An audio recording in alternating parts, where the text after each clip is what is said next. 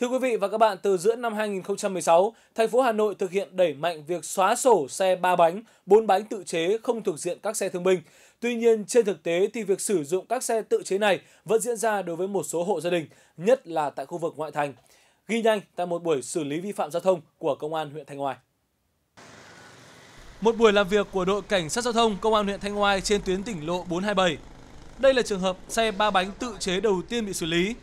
Điều đáng nói là xe này không giấy tờ, biển số nhưng chủ phương tiện vẫn vô tư sử dụng. Em ờ, ở nhà giấm ờ, giấm để làm nghề thì có cái trung chuyển dưới xuống nhà dưới khu công nghiệp này nên chở cái tôn ờ, xuống dưới khu công nghiệp này. Em ở đây ạ.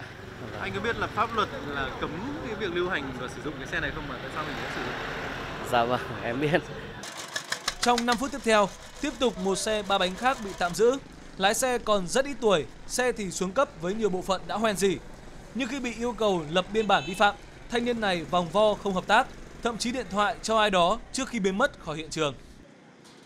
Khi ờ, dừng ờ, lái xe xuống thì cũng không nói năng thì và cứ thế bỏ xe và đấy là đi luôn.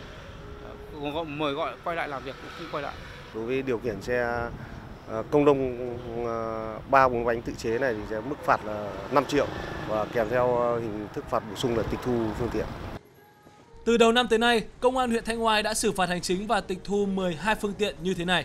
Tuy nhiên đó chỉ là một phần nhỏ so với số lượng xe thực tế. Nhiều phương tiện chỉ di chuyển quanh làng hay trong xã nên rất khó phát hiện, xử lý.